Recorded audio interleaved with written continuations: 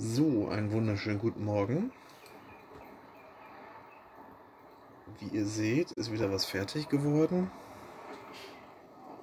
Während die Möwen und die Vögel im Hintergrund singen. Nämlich für die alte Welt das Kriegsherrenbase für die Barbaren.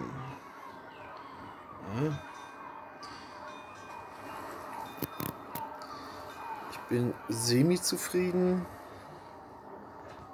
Bei der Fahne, beim Banner wurde ich zum Schluss ein bisschen einfallslos.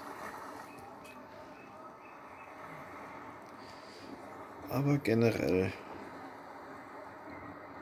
denke ich, kann sich das ganze Ding sehen lassen. Extra ein größeres Base um mehr draufzustellen, um mehr drauf zu kriegen. Ich guck mal eben, wenn ich irgendwas Helles habe, was ich in den Hintergrund stellen kann. So.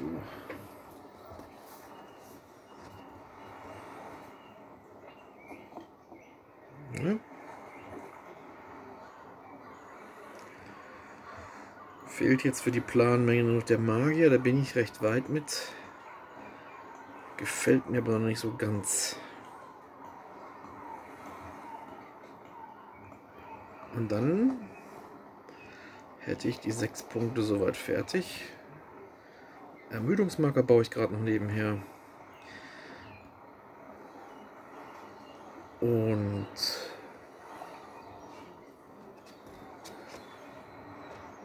was da noch kommt, sind bestimmt kurz oder lang zwei weitere Punkte.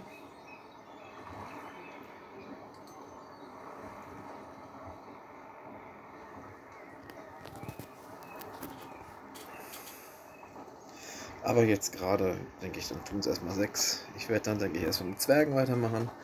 Da habe ich die Modelle nämlich hier.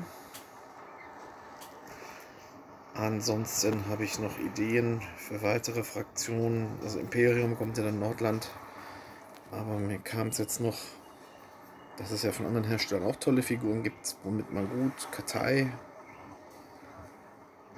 dann Tilea und auch die Grenzgrafschaften darstellen könnte. Breton fände ich super spannend, aber habe ich noch keine passenden Modelle gefunden, weil das ist für mich dann schon Ritter in Plattenrüstung und da ist jetzt vom GW auch sehr, sehr schwer dran zu kommen. Da muss ich mir nochmal einen Alternativhersteller suchen. Wenn jemand einen kennt, darf er mir die natürlich auch gerne mitteilen, gucke ich mir gerne an. So, das war es erstmal hier. Heute nur ein kleiner Überflug. Vielleicht streame ich noch, wahrscheinlich eher nicht. Das Wetter draußen ist auch zum Grauseln. Ja, ihr seht da hinten die Ermüdungsmarker, die ersten. Ein bisschen Zweiter Weltkrieg, Antike, da liegt der Magier. Haus Stark, noch mehr Antike, noch mehr Ermüdungsmarker, Vorbereitung. Ein letztes Mal die Barbaren. Ich wünsche euch erstmal einen schönen Tag. Und wie immer, falls jemand Lust hat, immer live zu malen über Skype, kann er sich ja gerne bei mir melden. Macht's gut.